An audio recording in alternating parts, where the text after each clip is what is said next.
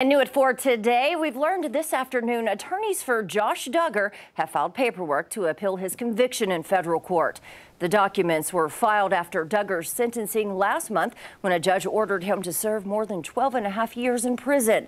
Duggar was convicted, you'll remember, by a jury last year of downloading and sharing child pornography.